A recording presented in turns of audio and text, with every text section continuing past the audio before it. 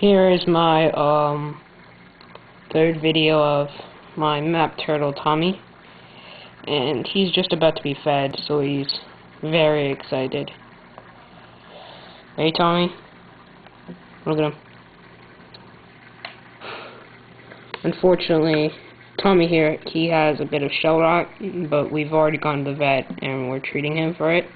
He's got some right right there and on the other side too and on his back.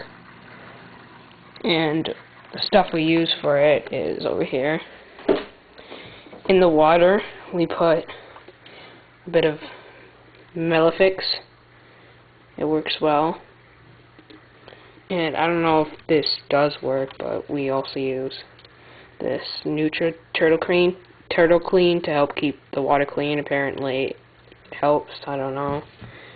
For him, every day, I scrub him with this betadine solution for two minutes.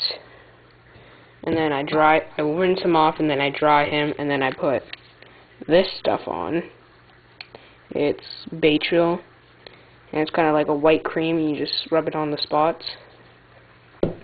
And he sits in here, his dry tank, for about two hours, and then I rinse him off and put him back in his cage. He really doesn't like being here. He gets very mad, and he likes to smack, tap on the glass with his shell to get attention. Very annoying. Here's Tommy. Yes?